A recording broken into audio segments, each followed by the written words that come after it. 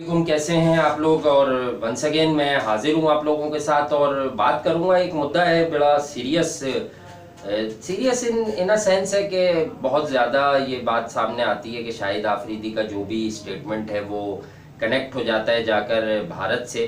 तो अभी क्रिकेट के एतबार से उन्होंने एक स्टेटमेंट दिया था और देखें मैं सिर्फ़ बात शेयर करूँगा। इसमें कोई मेरी राय किसी भी सूरत में मौजूद नहीं है।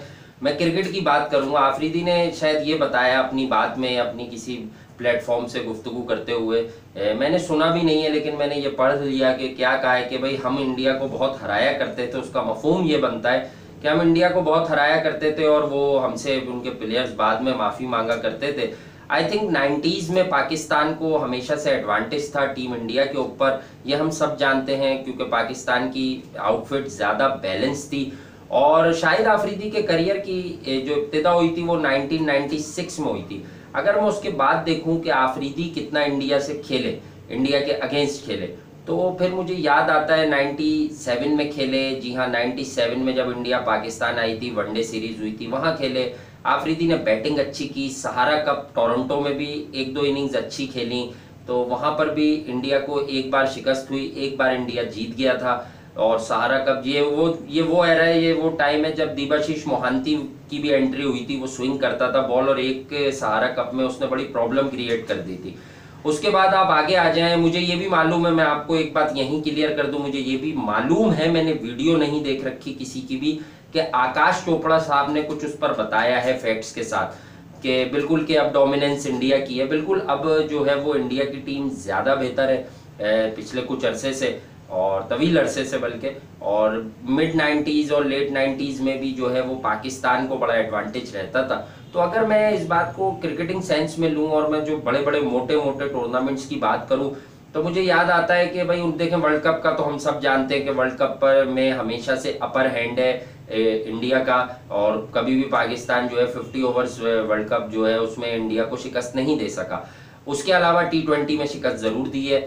और बात कर लें अगर आप आने के लिए कि शाहिद आफरीदी की बात को कनेक्ट करें कि वो एस प्लेयर ऐसी बात क्यों कर गए? भाई, अश्विन को दो छक्के 2014 में उन्होंने मारे थे। एशिया कप जो बांग्लादेश में हो रहा था और पाकिस्तान वहाँ जीत गया था। ठीक है, उससे बहुत पीछे आ जाए जब आफरीदी खेला करते थे। तो शायद मुझे कोई लिख के बता रहा था कि आकाश साहब हैं क्रिकेटर तो वो भी करते हैं अपना चैनल तो उन्होंने उस पर शायद बताया है। तो मैं शायद आफरीदी के जहन में ये बातें हो 2000 की एक सीरीज़ का मैं आपको ज़िक्र कर देता हूँ। उन्नीस सौ निन्यानवे, दो हज़ार कोका कोला का कप था शारजा में, तीन मुल्की पाकिस्तान, साउथ अफ्रीका, इंडिया। वहाँ पाकिस्तान जीता वो फाइनल, साउथ अफ्रीका से इंडिया फाइनल के लिए क्वालिफाई नहीं कर सकी। उसके बाद अगर मुझे याद आता है कि आफरीदी की जहाँ जहाँ प्रेजेंस है, वो जहाँ शहीद अनवर ने एक सौ चौरानवे किए थे, वो जो है, वो वो थी, आज़ादी की कुछ जुबली थी उसकी सेरेमनी और उसके सिलसिलों में जो है ये मैच खेले जा रहे थे।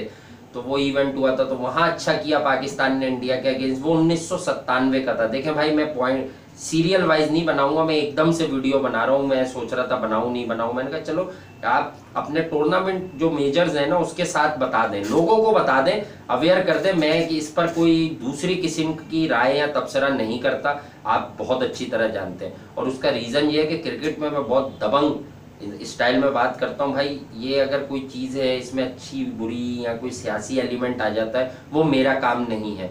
आ जाए। अब दूसरी बात, वीडियो कॉन कप भी हुआ था? 2004 में आई थिंक हॉलैंड में करा दिया गया था। इंजमाम कप्तान थे, आफरीदी वहाँ भी थे। वहाँ भी इंडिया हार गया था। तो शायद आफरीदी के जहन में शायद ये सब कुछ हो। हाँ जब इंडिया पाकिस्तान 2004 में आया तो पाकिस्तान हार गया था। इसी तरह 2005 में जब पाकिस्तान वहाँ गया तो इंडिया हार गया था। फोर टू जो सीरीज़ हुई थी और टेस्ट सीरीज़ ड्रॉ हो गई थी। 2006 में इंडिया फिर यहाँ आया तो फिर पाकिस्तान हार गया था। पाकिस्तान में इंडिया जीत गया था। फिर वापस एक सीरीज़ मेरे जहन में आ गई। 1999 वर्ल्ड कप से पहले पाकिस्तान की बड़ी धूम मच गई थी टीम की। टीम भी तगड़ी थी, इंडिया की टीम उस वक्त उतनी तगड़ी नहीं थी जितनी उसके बाद हुई। तो उससे पहले ट्राई सीरीज़ हुई इंडिया में, पाकिस्तान, इंडिया, श्रीलंका, वो भी पाकिस्तान जीत गया। शारजा कप हुआ उन्नीस सौ निन्यानवे में, वो भी पाकिस्तान वन साइडेड जीत गया। फाइनल इंडिया को ही हराया उसका। तो ये वो चीज़ें हैं, शायद ये बातें आफरीदी के जहन में हो कि जब उनके जो शुरू के तीन, चार, पाँच, छह साल थे तो वहाँ मोस्टली जो इवेंट्स हैं, ठीक है ना, वहाँ पे अपर हैंड रहा। हो लेकिन उसके बाद जब आफरीदी एज अ प्लेयर और फिर कप्तानी की दौड़ में आ गए और एक नाम बन गया कि यार शाहिद आफरीदी शाहिद आफरीदी, नाम तो खैर उनका पहले ही मैच में बन गया था पहले ही टूर्नामेंट में और दूसरे ही मैच में, कि जहाँ उन्होंने फास्टेस्ट सेंचुरी बना दी थी। तो बहरहाल अभी तो मैं सिर्फ़ मैं सिर्फ़ ये वीडियो कर रहा हूँ काउंटिंग के लिए इवेंट वाइज कि इवेंट्स में क्या क्या हुआ। उसके बाद आप देखें तो भैया 2003 के वर्ल्ड कप में शिकस्त हुई पाकिस्तान को। मैंने लेकिन उसके अलावा जितने टूर्नामेंट साइट पर होते रहे, पाकिस्तान वो जीतता रहा। आईसीसी चैंपियंस ट्रॉफी 2004 थी, वहाँ भी पाकिस्तान ने इंडिया को हरा दिया इंग्लैंड में। शायद ये जो back to back Videocon cup 2004 का, फिर आईसीसी चैंपियंस ट्रॉफी पे इंडिया में जाकर जो फोर टू टू नील कम करके पाकिस्तान जीता वहाँ अफरीदी की सेकंड फास्टेस्ट सेंचुरी 45 गेंदों पर पाँचवें वनडे में आई। शायद वो जो तीन चार साल की अदर टूर्नामेंट में जो है, अगर आप उसको वर्ल्ड कप को हटा दें, जो डोमिनेंस है, शायद वहाँ से है। लेकिन हाँ ये जो स्टेटमेंट था कि वो प्लेयर्स आकर माफ़ी मांगते थे, अब ये मैंने सुना नहीं है कि उन्होंने किस तनाजुर में कहा जरा मज़ाक प्लेयर्स की आपस में एक दूसरे से अच्छे मरासिम होते हैं ताल्लुकात होते हैं। तो हँसी मज़ाक में भी कह देते हैं, जोक के अंदाज में कि यार वो आके कहते थे कि क्यों हरा रहे हो? तो ये ऐसा बाजी में किसी और ने भी कहा होगा, बहरहाल। तो शायद ये वो पीरियड था कि जहाँ पर बहुत ज़्यादा चीज़ें थी। 2007 की बात कर ले, टी ट्वेंटी वर्ल्ड कप की तो वहाँ भी पाकिस्तान को शिकस्त हुई, इंडिया से हम सब जानते हैं।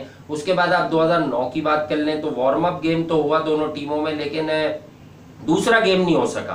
तो और पाकिस्तान वो वर्ल्ड टी ट्वेंटी जीत गया वर्ल्ड कप। 2010 की भी बात कर लें तो कोई खास नहीं था 2011 में जब वर्ल्ड वर्ल्ड कप आया तो वर्ल्ड कप तो मैंने बता दिया कि कभी जीते ही नहीं, वहाँ पाकिस्तान सेमीफाइनल मोहाली में हार गया।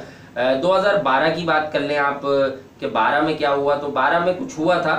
12 में पाकिस्तान की टीम गई थी, एंड में बिल्कुल दिसंबर में 2012 और 13 वो तीन वनडे और टी ट्वेंटी खेले गए थे, दो शायद। तो वो दो T twenty one one draw हो गए थे आई थिंक और तीन वनडे जो थे, वो टू वन पाकिस्तान जीत गया था, जिसमें वो ये वो वनडे सीरीज़ थी, जो जुनेद खान ने बड़ी अच्छी बॉलिंग की थी, एक मैच में उन्होंने चार पाँच शुरू में ही आउट कर दिए थे, सेवाग, कोहली वगैरह। तो शायद आफरीदी अक्सर जब होते हो तो उनके दिमाग में, लेकिन कमाल की बात यह कि उस वाली सीरीज़ में शायद आफरीदी बिल्कुल नहीं थे। उस सीरीज़ में नहीं थे जुनेद खान वाली मुझे अच्छी तरह याद है, नासिर जमशेद और मोहम्मद हफीज ओपन कर रहे थे शायद नहीं थे, शायद आफरीदी नहीं थे, बिल्कुल नहीं थे।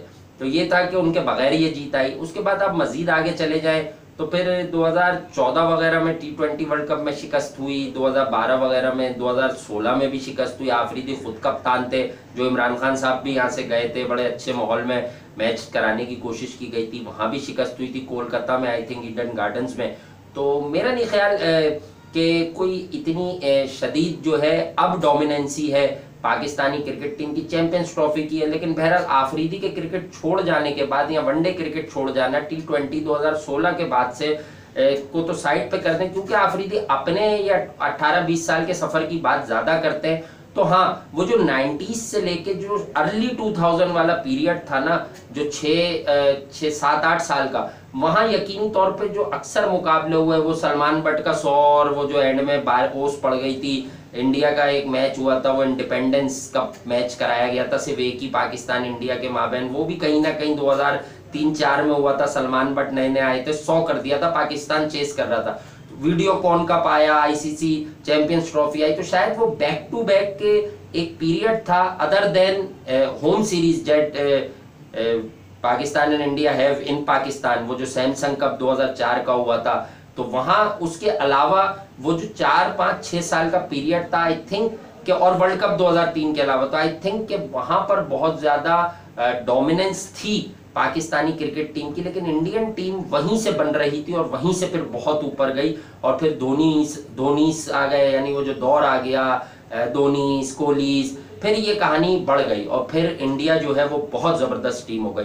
शॉर्ट वीडियो की है, कोशिश कीजिएगा, सारे भाई बहुत अच्छे हैं, आप सब जानते हैं, मेरा कोई पॉलिटिकल मसला नहीं है और आपको पता है तो अपने भाई को ऐसे ही बैक कीजिएगा, जितने भी लोग हैं, पाकिस्तान से, इंडिया से या ओवरसीज जो भाई हैं, वो तो खैर मैं कहता हूँ हमेशा से बड़े अच्छे होते हैं। मैंने ये वो बताया है आपको फैक्ट्स के साथ के आई थिंक के शायद ये बात आफरीदी के जहन में रहती हूँ कि वो उनकी नौजवानी में या उनकी जो नई एंट्रेंस हुई थी टीम में उसके बाद पाकिस्तान और इंडिया के जो ओवरसीज कहीं ना कहीं आपस में नहीं खेलते थे, लेकिन कहीं ना कहीं टाई पड़ती थी तो वहाँ पर पाकिस्तान जो है, वो जरा ज़्यादा सुरखुरु हो गया था, वर्ल्ड कप को हटाकर। तो शायद आफरीदी के जहन में इतनी पुरानी बात थी। हाँ वो आगे की बात करेंगे तो बिल्कुल वो गलत साबित हो जाएँगे। क्रिकेट में के फिर बाद में तो बहुत सा ज़्यादा मुकाबलों में शिकस्त हुई है पाकिस्तान को।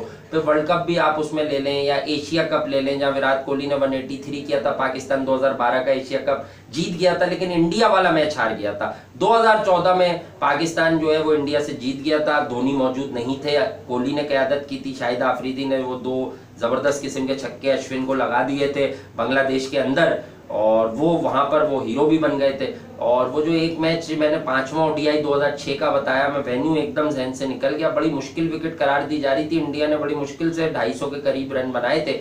तो आफरीदी का बल्ला चल गया था, बस वो 45 गेंदों पर सौ गया। उस पूरी सीरीज़ में भी आफरीदी अच्छा खेले, इसमें कोई शक नहीं। लेकिन उसके अलावा वो वही सीरीज़ थी जो मैं जिसको देखता हूँ कि वो 2001-2 के बाद से एक पीरियड चला, या नाइन 2000 से पहले का एक पीरियड था कि जब भी पाकिस्तान इंडिया खेलते थे वर्ल्ड कप के अलावा तो पाकिस्तान जो है फार मोर बेटर साइड लगती थी उस वक्त। आई थिंक के जिसने भी किसी समझदार इंसान ने बड़े टेस्ट क्रिकेटर आकाश चोपड़ा का लोग यहाँ नाम ले रहे थे, किसी ने बनाई होगी तो उन्होंने आई थिंक के ये आदादो शुमार क्लियर कर दिए होंगे, बड़े वाजे। बाकी ये कि यार इसमें ज़्यादा कोई बात मुझे लगती नहीं, मैंने वीडियो नहीं देख रखी, फिर भी मैं इस पर एक होमवर्क करके जो अब नेक्स्ट वीडियो बनाऊँगा ना, उसमें एक छोटी सी बात कर दूँगा।